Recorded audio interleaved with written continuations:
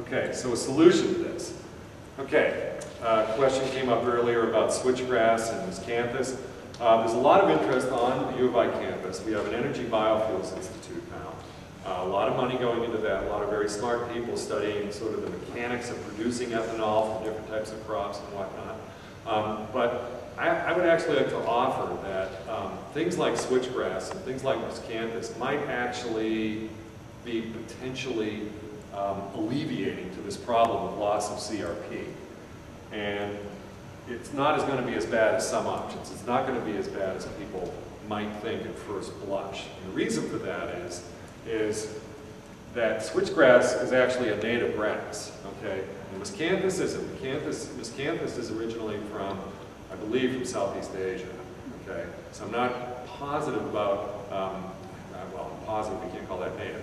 But uh, there are some issues, or there, are, there is a reason to think that something like switchgrass or miscanthus might actually be beneficial for grassland wildlife.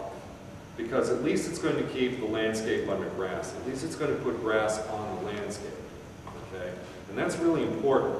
And um, the value of these crops relative to native grassland ecosystem really does merit study. And the question that came up earlier is it really does merit study. There's been a reasonable amount of research on uh, grassland bird communities and switchgrass, and they do pretty well. The big key is when mowing and when harvesting.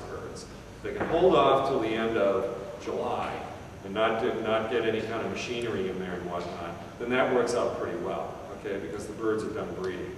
But when you see, and, and that's true for just about any situation, when you see, I, I live in Piatt County, when, in June, when they're mowing on the roadsides in early July, it just drives me crazy because that's when uh, there's lots of birds' nests and what they're mowing there, and it just destroys them all, okay?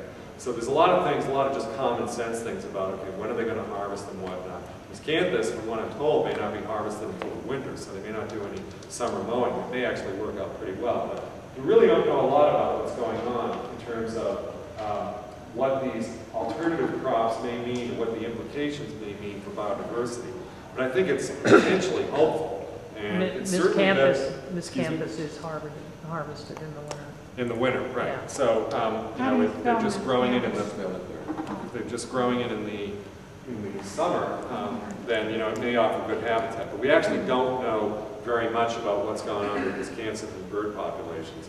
The only data on that are from England. They've been using miscanthus in England for a while, and it appears to actually be not as um, uh, detrimental as some other crops that are, that are uh, planted.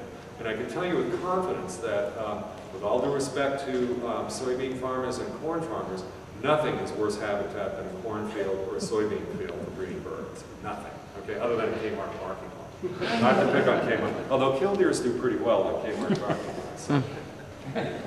Okay, so I, I think, you know, I want to end on kind of a positive note here, that the situation is grim for a lot of uh, components of biodiversity. But I think that we can perhaps take advantage of that. That's a bobolink, by the way, one of the nicer um, grassland birds that breed in Illinois. I think we can potentially take advantage of the situation and with a little bit of thoughtfulness, uh, figure out that there may be some ways to get biofuels produced and there may be ways of having those biofuels offer good habitat for breeding birds. We need to do a lot of work on this. There's some interest on the campus for doing this kind of work. There's some interest from the state for doing this kind of work. Um, talk is cheap, research is expensive, all that. But I think there's a lot of goodwill in at least exploring this and seeing what it may offer. And there's lots of uh, um, arguments for, for, to do this. Uh, birds eat insects, insects eat the plants. If the birds are eating the insects, there's more bio, there's more biomass produced.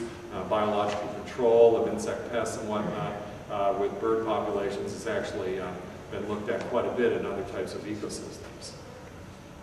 So, rule number one is I think that we should factor biodiversity into the equation when evaluating the sustainability of production systems. Um, you, often when people are talking about sustainability of a certain crop or sustainability of a certain practice, what that means is, is sustainability in terms of the economics of it. They really don't, and, and sort of the energy, maybe the energy aspects of it.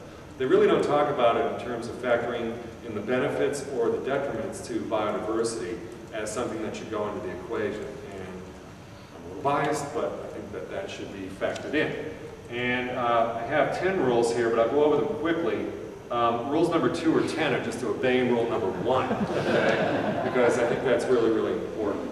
And um, so, I don't know how I'm doing on time here, but uh, thank you for your attention. I enjoyed giving this talk, and I'm happy to, I guess we have a discussion for a few minutes uh, Yeah, we, following we have until about 9:50, so about uh, nine minutes.